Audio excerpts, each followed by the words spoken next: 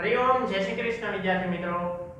આજના વિડિયો લેક્ચરમાં આપણે સીસી વિભાગમાં પાંચમા ચેપ્ટર એટલે કે પૂછપરછના પત્રો અને તેના પ્રત્યુત્તરો વિશેની શરૂઆત કરીશું. વિદ્યાર્થી મિત્રો ચેપ્ટરની શરૂઆત કરતા પહેલા એ બાબત ખાસ સમજી લઈએ કે પૂછપરછ અંગેના પત્રો અને પ્રત્યુત્તર અંગેના પત્રો કોના દ્વારા ક્યારે લખવામાં આવે છે. તો જેના માટે પૂછપરછના પત્રો ગ્રાહક દ્વારા વેપારીને અથવા તો વેપારી દ્વારા ઉત્પાદકને માલ સામાન ખરીદતા પહેલા માલ સામાન અંગેની માહિતી મેળવવા માટે લખવામાં આવે છે. જ્યારે પ્રત્યુત્તર અંગેના પત્રો ઉત્પાદક દ્વારા વેપારીને અથવા તો વેપારી દ્વારા ગ્રાહકને માલ સામાન અંગેની માહિતી મોકલવા માટે લખવામાં આવે છે. તો આ પ્રમાણે વિદ્યાર્થી મિત્રો પૂછપરછના પત્રો કોના દ્વારા કોને લખવામાં આવે છે? તો ગ્રાહક દ્વારા વેપારીને અને વેપારી દ્વારા ઉત્પાદકને માલ સામાન ખરીદતા પહેલા માલ સામાન અંગેની માહિતી મેળવવા માટે લખવામાં આવે છે. જ્યારે પ્રત્યુત્તર અંગેના પત્રો કોના દ્વારા કોને લખવામાં આવે છે, તો ઉત્પાદક દ્વારા વેપારીને અને વેપારી દ્વારા ગ્રાહકને માલસામાન અંગેની માહિતી મોકલવા માટે લખવામાં આવે છે. તો વિદ્યાર્થી મિત્રો, આ ચેપ્ટરમાં આપણે જે પૂછપરછના પત્રો અને પ્રત્યુત્તરના પત્રનો અભ્યાસ કરવાના છીએ, એના માટે તમને સૌપ્રથમ સીસી વિભાગના ચોથા ચેપ્ટર એટલે કે વાણિજ્ય પત્રના સ્વરૂપોમાં જે કાયમી ભાગ અને પ્રસંગોપાત ભાગમાં સમાવેશ થતી બાબતોનો અભ્યાસ કર્યો હતો, એનો ખ્યાલ હોવો જરૂરી છે. કારણ કે આ કાયમી ભાગની બાબતો અને પ્રસંગોપાત ભાગની બાબતોના આધારે આપણે પત્રનું દરેક લખાણ કરવાનું રહેશે. આજના વિડીયોમાં આપણે વાત કરીશું પાઠની પ્રસ્તાવના તેમજ પૂછપરછના પત્રના અર્થ વિશેની.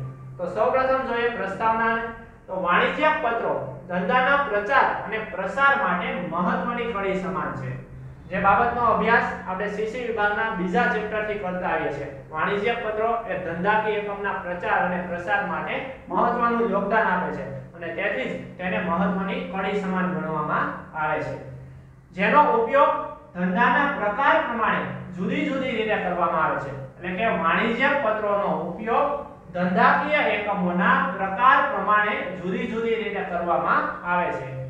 જેમાં ઔપચારિક બાબત, અનૌપચારિક બાબત, આર્થિક દરજ્જા અંગેનો સમાવેશ થાય છે. તો અહીં વિદ્યાર્થી મિત્રો, ઔપચારિક બાબત એટલે કઈ બાબત? તો જેનો અભ્યાસ આપણે સીસી વિભાગના બીજા ચેપ્ટરમાં પત્રના પ્રકારોમાં કરી ગયા. કે જ્યારે વાણિજ્ય બાબત કે ઓફિશિયલી બાબતો માટે જે પત્ર લખવામાં આવે તેને ઔપચારિક પત્રો કહેવાય, ત્યારબાદ અનૌપચારિક પત્રો કોને કહેવાય? તો અંગત સંબંધોની માવજત માટે જે પત્ર લખવામાં આવે એને અનૌપચારિક પત્રો કહેવાય. અને આર્થિક દરજ્જા અંગેના પત્રો એટલે કયા પત્રો?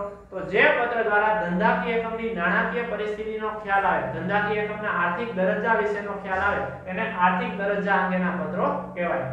તો આ ધંધાના પ્રકાર પ્રમાણે જે વાણિજ્ય પત્રો લખવામાં આવે છે, એ પત્રોના આધારે ધંધાકીય એકમ ઔપચારિક બાબત માટે પત્ર લખે છે, અનૌપચારિક બાબત માટે પત્ર લખે છે કે આર્થિક દરજ્જાની માહિતી મેળવવા માટે પત્ર લખે છે, એ વિશેનો સ્પષ્ટપણે ખ્યાલ આવે છે.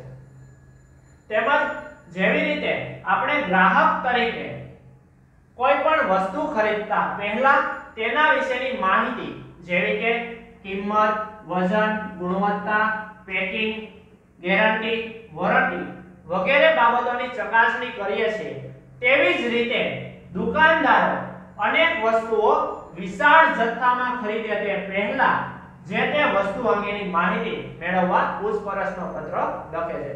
ટૂંકમાં કહીએ તો, વિદ્યાર્થી મિત્રો, આપણે જેવી રીતે ગ્રાહક તરીકે કોઈ દુકાનમાંથી વસ્તુ લેવા જઈએ, તો એ વસ્તુ ખરીદતા પહેલા એની વિશેની સંપૂર્ણ માહિતી મેળવે છે. એટલે કે વસ્તુની કિંમત કેટલી છે? વજન ગુણવત્તા પેકિંગ કેવું છે, એમાં ગેરંટી કેટલી મળશે વોરંટી કેટલી મળશે, આ દરેક બાબતો અંગેની માહિતી મેળવ્યા બાદ જ આપણે વસ્તુ ખરીદીએ છીએ. તો સેમ એવી જ રીતે કોઈ પણ દુકાનદાર ઉત્પાદક પાસેથી વિશાળ જથ્થામાં કોઈ વસ્તુ ખરીદે, ખૂબ વધારે સંખ્યામાં કોઈ વસ્તુ ખરીદે, તો એ સમયે એ વસ્તુ અંગેની માહિતી મેળવવા માટે પૂછપરછનો પત્ર લખે છે. તો આ પ્રમાણે હવે અભ્યાસ કરીએ પૂછપરછના પત્રના અર્થ વિશેનો, કે જે આપણે બીજા ટોપિકનો અભ્યાસ કર્યો એ મુજબ જ દર્શાવેલો છે. અને વિદ્યાર્થી મિત્રો, આ પૂછપરછના પત્રના અર્થને ખાસ ધ્યાનથી સમજો, કારણ કે તમને પરીક્ષામાં એક માર્કના ગુણભારમાં પૂછી શકાય છે. પૂછપરછના પત્ર એટલે ગ્રાહક કે વેપારી માલ સામાન ખરીદવાના ઈરાદા, એટલે કે માલ સામાન ખરીદવાની ઈચ્છા ધરાવતા હોય ત્યારે વેચાણકર્તા પાસેથી, એટલે કે ઉત્પાદક પાસેથી, જે વ્યક્તિ વસ્તુનું ઉત્પાદન કરે છે તેની પાસેથી. માલ સામાનને લગતી જરૂરી માહિતી અને મળવાપાત્ર મહત્વના ફાયદા વિશેની માહિતી મેળવવા લખાતા પત્રને પૂછપરછના પત્ર તરીકે ઓળખવામાં આવે છે. ટૂંકમાં કહીએ તો ગ્રાહક કે વેપારી કોઈ માલ સામાન ખરીદવાની ઈચ્છા ધરાવતા હોય તો એ સમયે એ માલ સામાન અંગેની માહિતી મેળવવા અથવા તો એમાંથી મળતા મહત્વના લાભ વિશેની માહિતી મેળવવા માટે જ્યારે વેચાણ કરતાને પત્ર લખે, તો એ પત્રને પૂછપરછના પત્ર તરીકે ઓળખવામાં આવે છે. અને આ પ્રમાણે પૂછપરછના પત્રનો અર્થ દર્શાવેલો છે, ગ્રાહક કે વેપારી માલ સામાન ખરીદવાના ઈરાદે વેચાણ કરતા પાસેથી માલસામાન અંગેની માહિતી મેળવવા અને મળવાપાત્ર મહત્વના લાભ અંગેની માહિતી મેળવવા માટે જે પત્ર લખે તેને પૂછપરછના પત્ર તરીકે ઓળખવામાં આવે છે. તો વિદ્યાર્થી મિત્રો, અહીં આજનો આપણો આ વિડિયો પૂર્ણ કરીએ છીએ. હવે આવતા વિડિયોમાં આપણે પૂછપરછના પત્ર લખતી વખતે ધ્યાનમાં રાખવાની બાબતોનો અભ્યાસ કરીશું. પણ વિદ્યાર્થી મિત્રો, એક બાબત ખાસ ધ્યાન રાખજો. પૂછપરછના પત્રો ક્યારે કોના દ્વારા લખવામાં આવે છે? તો ગ્રાહક દ્વારા, વેપારીને અને વેપારી દ્વારા ઉત્પાદકને માલ સામાન ખરીદતા પહેલા માલ સામાન અંગેની માહિતી મેળવવા માટે લખવામાં આવે છે. જ્યારે પ્રત્યુત્તર અંગેના પત્રો ઉત્પાદક દ્વારા વેપારીને અને વેપારી દ્વારા ગ્રાહકને માલ સામાન અંગેની માહિતી મોકલવા માટે લખવામાં આવે છે. હરિઓમ વિદ્યાર્થી મિત્રો.